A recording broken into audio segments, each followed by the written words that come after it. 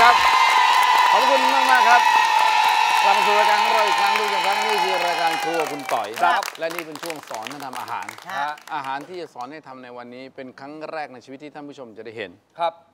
ฝั่งนั้นน่าเฮ้ยเฮ้ยอะมันต้องเห็นแปลกอะไรอะแปลกไม่เคยเห็นต่างเลยอะไรฮะขนมปังไส้กุ้งครับฝั่งนี้เออขนมปังไส้กุ้งจะอะไรนักหนาเชื่อผมเถอะครับครับ นี่เป็นครั้งแรกในชีวิตผมเลยที่ผมเห็นคนทำขนมปังไส้กุ้ง แต่ใช้กุ้งกล้ามกราม โอ้โห เดี๋ยวนะคุณพระอะ คุณพระ คือไอ้เออไอ้ไส้กุ้งหรือหน้ากุ้งอะมันอยู่กับข้าวเหนียวไม่ใช่เหรอใช่ ข้าวเหนียวหน้ากุ้งใช่ ฮะ เอาพูดแต่นี่เป็นด้วยความขน ด้วยความเคารพเกินมาในชีวิตจนอายุป่านเนี้ยครับผมเข้าเลขตีนี่ก็ไม่เคยกินครับขนมปังไส้กุ้งเนี่ยนะฮะไม่มีฮะ ไม่มี ไม่เคยกินแต่ครับเจ้านี้ทำได้ เพราะเจ้านี้ชื่อว่าเค้กหนองพงนก เค้กหนองพงนกเป็นเค้กเก่าแก่มากๆ อยู่คู่กับจังหวัดนครปฐมอยู่ที่กำแพงแสนอยู่มาเก่าแก่เลยจริง ๆ และร้านร้านนี้นะฮะมี เขาเรียกอะไร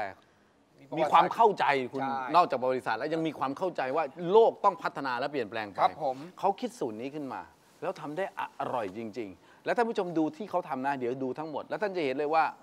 เราเราธรรมดาอย่างนี้ ไม่สามารถทำได้ ผมให้ดูแล้วผมกล้าพูดอย่างนี้ก่อนเลยว่า เราไม่สามารถทำได้ จริงหรือครับอะเดี๋ยวท่านดูแล้วท่านจะเห็นเองจริงได้ๆขอเชิญท่านผู้ชมพบกับคุณสมัชชาศรีธันดรจากร้าน เค้กหนองพงนกครับครับสวัสดีค่ะสวัสดีครับ ในสมัชชาแห่งชาติเออไม่ใช่ไม่ใช่ครับ เฉพาะชื่อเขาครับเขาชื่อสมัชชาเฉยๆชื่อชาครับอ๋อผมนึกว่าเป็นสมัชชาแห่งชาติไม่เลใช่ยไม่ไม่ใช่ใช่นะเขาชื่อเล่นชื่อชา ร้านเค้กหนองพงนกมีประวัติมากี่ปีละ ประมาณ 30 ปีครั30คปีรับอยู่ที่ไหน ของเราจะอยู่ที่นะครับหมู่บ้านหนองพุงนกนะครับอำเภอกำแพงแสนจังหวัดนครปฐมครับ นี่ครับ อยู่ที่หมู่บ้าน ใช่ครับ เราถึงเอามาเป็นชื่อร้านของเราครับเป็นหนองพงนกเลยจใช่คบริง ๆ เพราะผมเกิดที่นี่ เกิดที่นี่ ครับ แล้วเดิมทีดีลองนึกไป 30 กว่าปีที่แล้วนะครับ นึกถึงความเจริญของสมัยมันยังแตกต่าง สมัยนั้นเค้กนะเค้กก็กินกันในกรุงเทพครับ ไอ้ต่างจังหวัดอยากจะกินก็มากินในกรุงเทพแต่ที่นี่เป็นที่แรก ๆ ของจังหวัดนครปฐมเลย ที่มาทำเค้กขายครับ แล้วเค้กของเขาเป็นเค้กบ้านๆเลย ฮะ เป็นเค้กชาวบ้านท่านผู้ชมเค้กแบบเค้กบ้านเค้กบ้าโบนราณอะใช่ครับ เค้กสมัยผก่อมนอะผมพูดชื่อไม่ผิด ผมกล้าพูดว่าเค้กบ้านๆเลย ครับก็ไม่ใช่มีอะไรที่แบบแตกต่างพิสดารครับนะฮะแต่อร่อย แต่อร่อย อร่อย รสชาติ แล้วรสชาตินิ่ง รสชาตินิ่งแบบแบบบ้านอะไรที่ขายดีที่สุดสมัย 30 ปีรู้ไหมของคุณ ก็เป็นขนมเค้กครับขนม เค้กแล้ว เค้กโบราณคเค้รักบ โบราณเออ เค้กที่แบบเอ่อใส่อ่าใส่แค่นงแค่เนยแค่นั้นใช่แต่ครับอร่อยๆมีอยู่ในนี้ไหมมีอยู่มีในนี้ครับไหนหยิบมาดิแต่แต่ตอนนี้เราพัฒนาขึ้นมาเออป็นี่นี่อันไหนอันไหนไม่เอาอันไหนอันนี้ นี่ผมบอกให้นะ เขาก็เอาแยมส้มมาราดหน้าครับแล้วใส่เป็นถาดถาดเป็นถาดไอ้ถาดกระดาษอะไม่แกะเลยโป๊ะแกะเลย นึกออกใช่ไหมนี่อยากให้ดู ไปขายตามโรงเรียนเออครับ อันละบาทสองบาท นี่เรื่องจริง ครับ จริงสมัยผมก็มีแถวว่าราชบุรีนครปฐมแกะจริงๆจังๆเลยเราจะเขาได้ห้าโอ้แกก็ไม่ได้ใจเรื่องหรใจอกใจใจเย็นครับเขาไม่ได้เรื่องหรอกเออนี่นี่นี่อ่านี่ใจเย็นครับอะใจเย็นใจเย็นนี่แบบนี้แหละแต่มันนี่จะเป็นกล่องใหญ่นี่นี่ถาดโทษใหนะญ่โทษนะไม่ได้เรื่องหรอกอย่างนั้นต้องอย่างนี้นี่หยิบมันเลยนี่ท่านผู้ชม มันเป็นแค่บัตเตอเนี่ยร์เป็นเค้กเป็นอย่างเงี้ยเป็นเค้กแบบขอโทษนะต้องบ้านนอกจริงๆอะเนี่ยต้องเป็นเค้กอย่างเงี้ย มันมันเป็นฟิลความรู้สึกเดิมๆ ถ้าเกิดใครอ่ารุ่นนู้นนะฮะ รุ่นพวกเรานี่แหละไม่ต้องคิดเยอะ ได้กินแค่นี้ก็ฟินแล้วอะมันไม่ใช่ฟิลคุณนวัดแล้วมันจะมีอีกแบบหนึ่งนะฮะข้างบนหนูไม่ข้างบนมันจะมีคุณนอีกวัดแบบหนึ่งมันไม่ใช่ฟิลคุณฮะกินหน่อยเถอะเชื่อผมดิเอาด้วยเออเอาฮะด้วยเดี๋ยวต้องเอาดิหน้าหน้าสมัยก่อนแต่รสชาติไม่เป็นอร่อยไหมล่ะ มันรสนิ่ง อีกแบบหนึ่งที่เขาทำคืออก้อนสี่เหลี่ยมครับนะเอาง่ายๆ เด็กนักเรียนนะก้อนสี่เหลี่ยมแล้วก็ตักแบ่งกัน คือผมอยากจะพูดว่า อร่อยจังมันไม่ใช่เค้กแบบที่เรากินจากยุโรป จากอเมริกา จากฝรั่งเศสจากไม่ใช่เลย ผมเรียกเค้กชนิดนี้แบบนี้ว่าเค้กไทยๆ มันรสนิ่งมากแล้วมันอร่อยจริง ๆ มันไม่น่าเชื่อว่าหน้าตาแบบนี้สมมติ คนที่เรียกว่าอ่าท่านท่านสูงหน่อยนะอ่าอาจจะโอ้โหอาจจะอะไรอาจจะก็ไม่รู้กินเค้กตะวันตกอ่าเยอะไม่ไปกินนิดนะไม่กินอย่างนี้เห็นแล้วแม่ เชื่อผมถ้าเค้กหนองพงนกอร่อยจริงๆลองต้องชิ้นแล้วใช่ก็ติดใจ แต่วิวัฒนาการที่พูดถึงมันมาจนถึงขั้นนี้แล้วตอนนี้ เมื่อทำเค้กเสร็จก็ทำขนมปังทำขนมปังนุ่งขนมปังนี่ไม่พอ ตอนนี้ทำขนมปังไส้กุ้งท่านมาดูนะ เดี๋ยวดูเมื่อกี้ผมบอกไปแล้วว่า เราทำไม่ได้ ดูว่าทำไมผมพูดคำนั้น ไปดูกันเลยครับ เค้กหนองพงนกทำขนมปังไส้กุ้ง นี่คือร้านของเขานะครับนี่อยู่ที่กำแพงแสน จังหวัดนครปฐมนี่ฮะดูนะฮะร้านเขา ทั้งหมดแล้วไม่ใช่ธรรมดาเห็นไหมคนเราคิดแล้วไปก้าวหน้าไปแล้วก้าวหน้าไปแล้วนี่และนี่ทีมงานโอ้โหนี่ครึ่งเดียวนะนี่ครึ่งเดียวนะที่มายืนอะและนี่คือเครื่องทั้งหมดที่ทำเริ่มต้นจากครับ น้ำมันนะครับสามช้อนโต๊ะนะครับ แล้วเราก็ใส่กระเทียมทับกระเทียม เจียวนะครับกระเทียมให้หอมนะครับนี่ครับให้หอมได้ที่นะครับเจียวกระเทียมให้หอมได้ที่ ครับแล้วเราก็ใส่หอมใหญ่นะครับครัผับดนะครับผัดให้หอมใหญ่พอสุกนะครับครับนี่เราก็ใส่กุ้งนะครับ กุ้งแห้งเราใช้กุ้งเนื้อแห้งนะครับครับล้างให้สะอาดนะครับให้ความเค็มออกผัดในหอมแล้วนี่เราใช้เนื้อกุ้งกล้ามกรามนะครับ ที่เป็นแหล่งวัตถุดิบของเราเลยที่อำเภอเมืองแสนเรานะครับครับ ใหม่ๆ มาผัดเข้าไปนะครับ แล้วก็ใส่ซีอิ๊วขาวนะครับสองช้อนโต๊ะนะครับ น้ำตาลทรายนะครับ เดี๋ยวนะครับครับอีกน้ำตาลทรายเกลือก่อนคท่ารับนี่เกลือเกลือก่อนใส่เกใช่ลือครับเกลือครับเกลือก่อน แล้วก็ตามด้วยน้ำตาลทรายอีกครับอีกเท่าไหร่อะไรนะครับใส่อีกเท่าไหร่ครับน้ำตาลทรายอ๋อสองสามช้อนโต๊ะครับ เยอะเลยนะฮะครับ โอเคใส่ลงไปนะครับ แล้วพริก็พริกไทยครับหนึ่งช้อนโต๊ะครับพริกไทยป่นอีกหนึ่งครับช้อนโต๊ะแล้วก็ผงกะหรี่นะคนี่รับครับ ครับ แล้วเราก็ใส่ผงกะหรี่นะครับหนึ่งช้อนโต๊ะนะครับ ครับ ผัดให้เข้ากันนะครับพ อเข้ากันทีแล้วเราก็ใส่เนื้อมันบดนะครับ เนื้อมันเทศครันะบผู้ชมบดต้มครับแล้วบดครับใส่ลงไปอีกครับนี่ผัดครับ ให้เข้ากันนะครับ ให้นี่ แห้งดีนะครับ มันจะกลายเป็นไส้แล้วท่านผู้ชม ใช่ครับจะเป็นไส้กุ้งแต่มันมีมันเทศบดด้วย ครับ คราวนี้เอาสูตรแป้งสาลีครับแป้งสาลีครับเท่าไหร่ครับสองสองพันกรัมครับ น้ำตาลทราย 500 กรัมนะครับทำไส้ทำตัวแป้งนะครับนมนะครับนมผงครับ 10 กรัมนะ10ครับกรัมครับไข่สี่ฟองนะไข่ครับไก่อีก4ฟอง ครับ แล้วก็ยีสต์นะครับ4ช้อนโต๊ะครับยีสต์อีก4ช้อนโต๊ะท่านผู้ชมเริ่มเนเห็นยแล้วใช่นะไหมครับฮะ500กรัมครับเนยอีก500กรัมท่านผู้ชมครับเริ่มเห็นแล้วใช่ไหมว่าทำได้ไหมวิปปิ้งครีมนะครับ100กรัมครับวิปปิ้งครีมอีก100กรัมครับเพื่อวานุ่มนะครับครับ แล้วก็นมสด500กรัมครับนมสดอีก500กรัมครับครับ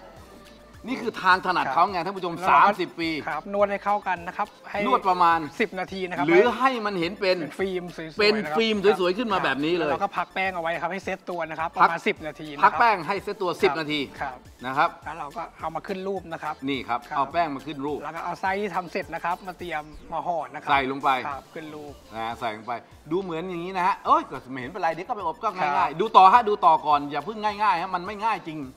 เสร็จแล้วก็ปิดให้เรียบร้อย ครับ แล้วเอาไปใส่ไว้ใน ใส่ถ้วยฟอยล์นะครับถ้วยฟอยล์ ครับ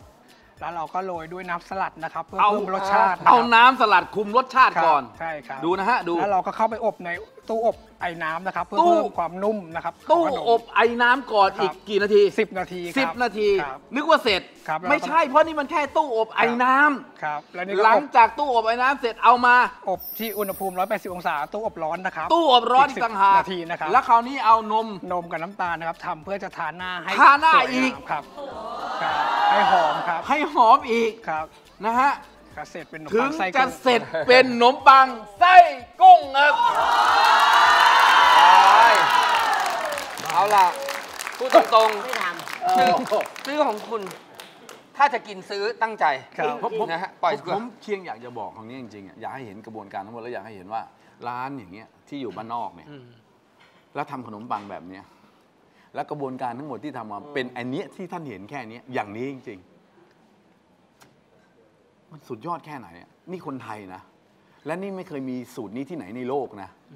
นี่คิดเองนะ ครับ นี่คิดเองเลย กระบวนการทั้งหมดที่ออกมาเป็นก้อนนี้หนึ่งก้อนเนี่ยแล้วจริงๆเวลาขายขายอย่างนี้ใช่ไหมฮะใช่ครับก็คือ2ก้อนว่าใช่ง่ายๆครับ เท่าไหร่ครับ ก้อนละ 20 บาทครับสองก้อน40 บาทครับอ่าครับ สองก้อนนี้ 40 บาท ครับ แต่ขอโทษนะฮะไอ้20บาทเนี่ยให้เข้าไปเถอะครับ ไม่ กุ้งอะไรอะคุณต้องดูใช่ครับเราใช้กุ้งกุ้กงล้ามกล้ามกรามให้ดูกุ้งอะไรแล้วก็สดใหม่นะครับเพราะเป็นกุ้งที่กำแพงแสนเราเป็นแหล่งกุ้งเลี้ยใช่ครับเป็นแหล่งกุ้งแหล่งเลี้ยงกุ้งครับแหล่งเลี้ยงกุ้งเราจะสดจากบ่อทุกวันเราก็เลยเอามาทำเป็นไส้ขนม เพราะเราพัฒนาจากเบเกอรี่เราเพราะเราชำนาญตรงนี้เราก็เลยเอาวัตถุดิบนี่ของบ้าท้องไปถิ่นแล้วเรานะท่านผู้ชมมาทำไม่ได้ แล้วอะตอนนี้รสชาติรสชาำรติสชาติ เอาผมจริงผมนะต่ออะคือพูดตรงๆนะ ไอ้แค่แค่แค่พูดคำว่าขนมปังไส้กุ้งเนี่ย ไม่น่าตื่นเต้น หนูไม่ได้อยากกินด้วยพูดตรงเออเออ ๆเพราะว่าหนูจะกินไอ้พวกข้าวเหนียวหน้ากุ้งไอ้อย่างนั้นน่ะได้ แต่ว่าอย่างเงี้ย เดี๋ยวออกคนที่ยังไม่รับประทานเนี่ยเตรียมใจไว้เลย ผมรับประทานแล้วก่อนเข้ารายการผมจะบอกให้ ว้าวมากเหรอสำหรับผมโคตรว้าวเลย เพราะอะไรรู้ไหม เพราะอะไรรู้ไหมคุณรวมวัฒนธรรมยังออกความเป็นไทย คุณรวมวัฒนธรรมญี่ปุ่นนะฮะนิดหนึ่งอินเดียนิดหน่อย เพราะมีครับผงกะหรี่เหมือนครับญี่ปุ่น แล้วก็เหมือนกะหรี่พัฟนะครับ รวมกันทุกสิ่งอ๋อทุกุ้กงอย่างครับออกมาแล้วลงตัวเป๊ะ ขอโทษนะ ขนมปังคุณน่ะไม่ต้องใส่ไส้ก็อร่อยเออ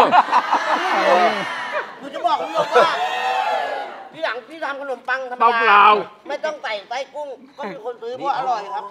ผมเลี่ยงได้ขนมปังอะไรมันจะอ นุ่ร่มอยมากปังมันจะนุ่มแน่นเหนียวเนียนขนาดนี้ ไม่ใช่ขนมปังที่กระด้างมันไม่ใช่ขนมปังมันกระด้างแล้วไส้ที่มีตรงเนี้ยถามผมว่าเหมือนกับอะไร ผมตอบได้เลยไม่เหมือนกับอะไร นึกว่ากะหรี่ปั๊บก็ไม่ใช่ ไม่ใช่ไม่ใช่เลย เพราะมันเป็นกุ้งกล้ามกราม มันอร่อยเด็ดจริงเพราะไอ้อบไอ้น้ำแบบมันถึงได้ใช่ มันถึงได้นุ่มมีเทคนิคพิเศษของเราสูตรเฉพาะของเราด้วยครับครับ พังไปเท่าไหร่พี่กว่า ครับ พี่จะเจอไอ้อย่างโอ้เงี้ยโหนี่เขาทำกันมาเยนานอะครับพังไม่เยอะหรอก ครับสามสิบกว่าปีครับ อร่อยมาก สมควรแล้วที่เขาจะทำเป็นรสเค็มทั้งนะครับเพราะว่าขนมปังเขาออกหวานอร่อยพอดี ใช่ ตอนแรกมีคำถามเต็มเลยนะผมว่าทำไมต้องใส่ไอ้นี่ก่อนทำไมต้องราดน้ำสลัดครับ ก่อนพอเขาอบไว้แล้วโอ้โอ้ ใช่ครับ คือต้องบอกคุณผู้ชมว่า จริงๆแล้วหนูอย่างที่หนูบอกว่าอาครับ ของอาอยู่นี่ฮะๆอ๋อเหรอครับคือเมื่อกี้ผมบอกเขาเชิญครับนะเขากำลังจะกินน้ำแต่ผมไม่อยากกิน ผมก็เลยยังบไงอกเขาว่าเชิญครับ เอาเด้ ครับผมคือหนูอยากจะบอกคุณผู้ชมสักนิดหนึ่งว่า ไม่แปลกครับที่เค้กหนองพงนกอยู่มา 30 ปี และเป็นที่ชื่นชอบของคนที่นั่น และหนูเชื่อว่าอนาคตจะเป็นที่ที่ชื่นชอบของคนทั้งประเทศนะครับขนมปังไส้กุ้ง เต็มใจและภูมิใจให้ตรงนี้ครับ รับจากหนูเลยครับอร่อย สิบคะแนนเต็มสิบคะแนนเต็มสิบคะแนนเต็ม ได้จริงๆนะฮะ ได้เพราะฝีมือและได้เพราะความจากอร่อยจริงๆท่านผู้ชมมันแตกต่างจริง ๆ เลย คนลุก คนลุกจริงๆท่านผู้ชมอร่อยและไอ้เค้กเขาเนี่ยผมบอกจริงไอ้เค้กแบบเนี้ยท่านผู้ชม ปกติโทษทีนะไม่ได้ดูถูกใครเลย ถ้าเห็นโดยทั่วไปไม่รู้จักว่าเป็นของใครไม่กล้าซื้อกิน รูปร่างหน้าตามันไม่ได้น่ากินมันไม่ได้สวยงามมันไม่ได้เท่เหมือนกับคนอื่นเขาแล้วมันพูดตรงๆว่าตอนแต่งหน้าเด็กแต่งตาอะไรเหมือนกับชนิดที่เอาเศษอย่างเงี้ยสมัยนี้ไม่ได้สมัยนี้เชฟเชฟต้องมาถึงปาดโน่นปาดนี่เอาเล็งแล้วเล็งอีกอืมดูดีเออๆมันคลาสสิกคลาสสิกมันควรจะต่ออายุครับเออ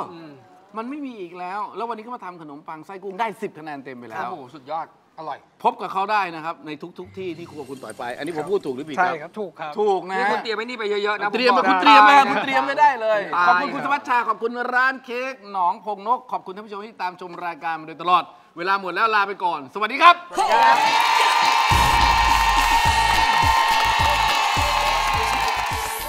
อร่อยแถวนี้ของเราไปกันที่แยกเสนา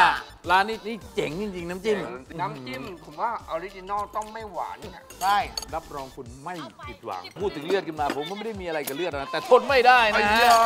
นี่ฮะน้ำพริกเผาแมงดาครับ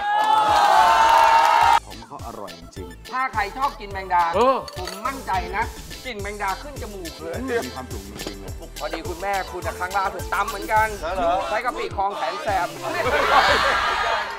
ท่านที่เป็น subscriber ของเรานะฮะ ตอนนี้นะครับ ตามที่เขาบอกให้ชี้เรื่องแบบชี้ชี้ชี้ชี้ตรงนี้ตรงนี้ไม่ตรงนี้ ตรงนี้ตรงนี้